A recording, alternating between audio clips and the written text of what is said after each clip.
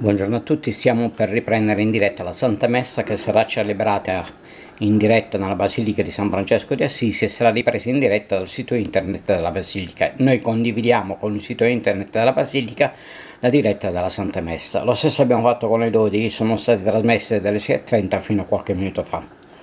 Auguriamo a tutti una buona partecipazione alla Santa Messa.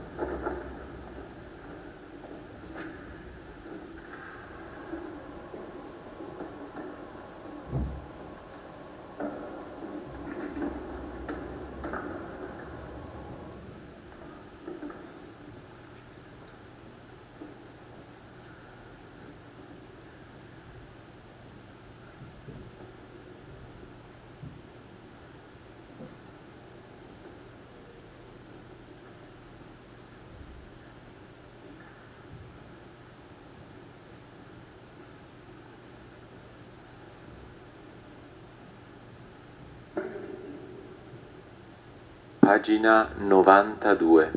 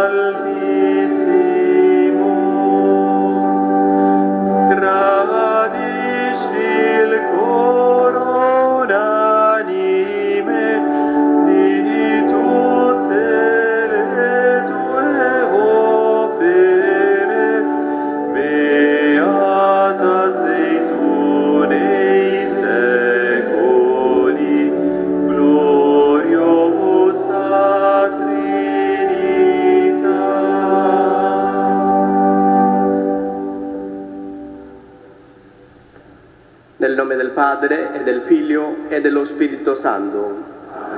Il Signore sia con voi.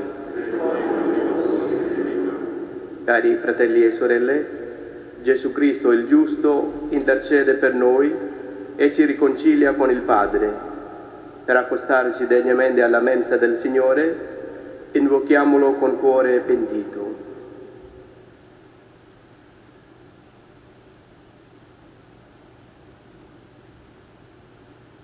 Pietà di noi, Signore. Mostraci, Signore, la tua misericordia. Dio Onnipotente, abbia misericordia di noi, perdoni i nostri peccati e ci conduca alla vita eterna.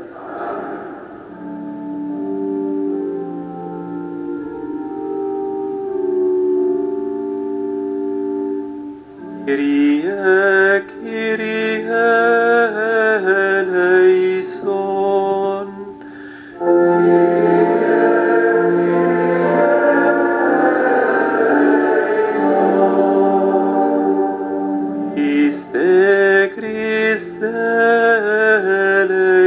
corazón.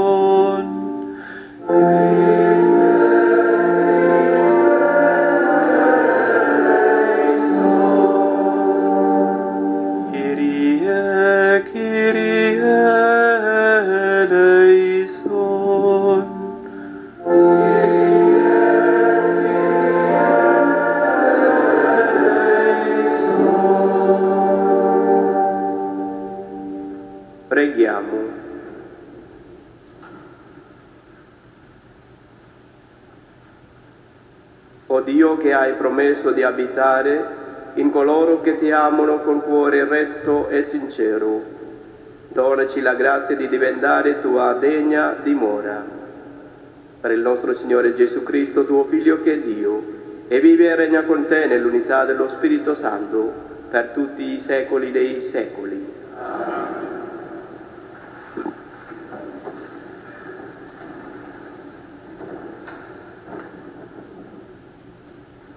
Dalla lettera di San Giacomo Apostolo. A che serve, fratelli miei, se uno dice di avere fede, ma non ha le opere? Quella fede può forse salvarlo? Se un fratello o una sorella sono senza vestiti e sopravvisti del cibo quotidiano, e uno di voi dice loro, andatevene in pace, riscaldatevi e saziatevi, ma non date loro il necessario per il corpo, a cosa serve? Così anche la fede, se non è seguita dalle opere, in se stessa è morta. Al contrario, uno potrebbe dire, tu hai la fede e io ho le opere, mostrami la tua fede senza le opere, e io con le mie opere ti mostrerò la mia fede. Credi che c'è un Dio solo, fai bene anche i demoni lo credono e tremano. Insensato, vuoi capire che la fede senza le opere non ha valore? Abramo, nostro padre, non fu forse giustificato per le sue opere, quando offrì Isacco, suo figlio, sull'altare? Vedi, la fede agiva insieme alle opere di lui, e per le opere la fede divenne perfetta. E si compì la scrittura che dice Abramo credette a Dio e gli fu accreditato come giustizia ed egli fu chiamato amico di Dio. Vedete, l'uomo è giustificato per le opere e non soltanto per la fede. Infatti, infatti come il corpo senza lo spirito è morto, così anche la fede senza le opere è morta. Parola di Dio.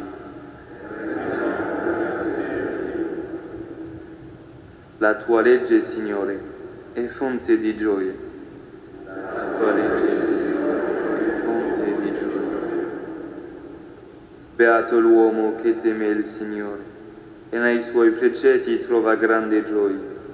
Potente sulla terra sarà la sua stirpe, a discendenza degli uomini retti sarà benedetta. La tua legge, Signore, è fonte di gioia prosperità e ricchezza nella sua casa. La sua giustizia rimane per sempre. Spunta nelle tenebre, luce per gli uomini retti, misericordioso, pietoso e giusto. La tua legge, Signore, è fonte di gioia. Felice l'uomo pietoso che dà in prestito, amministra i suoi beni con giustizia, egli non vacillerà in eterno eterno sarà il ricordo del giusto. La tua legge, Signore,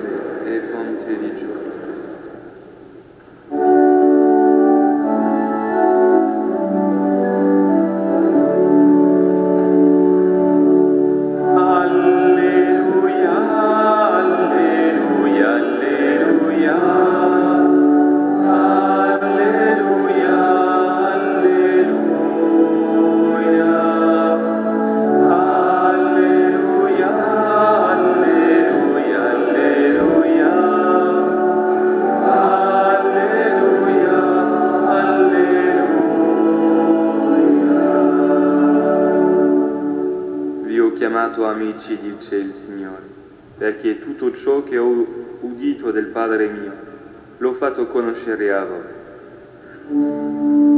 Alleluia,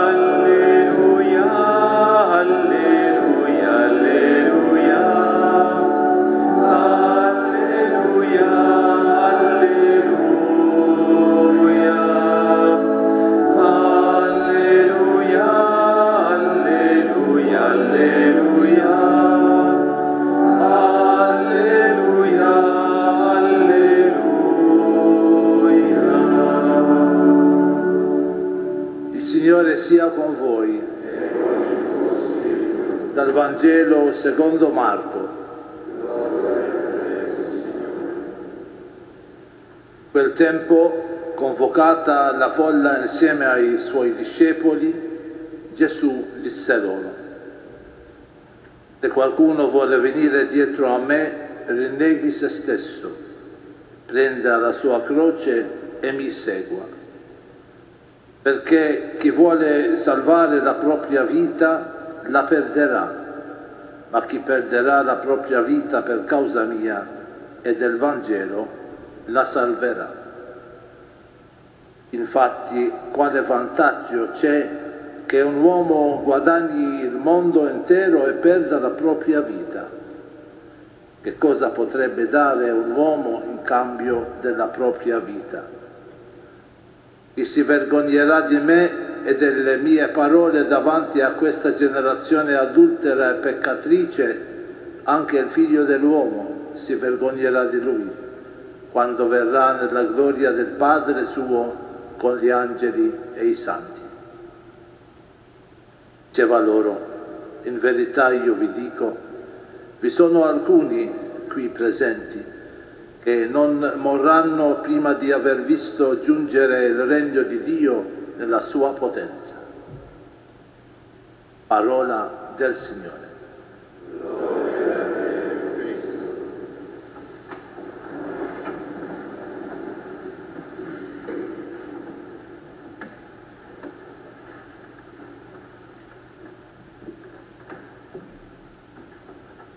Pace e bene cari fratelli e sorelle. La fede è la porta che ci apre il cuore per far entrare Dio. Egli vuole venire a vivere in noi per essere l'amore che perdona. Il nostro cuore allora diventa un oceano di carità, non per virtù nostra, povere creature deboli e fragili, ma per opera di Dio che vive in noi.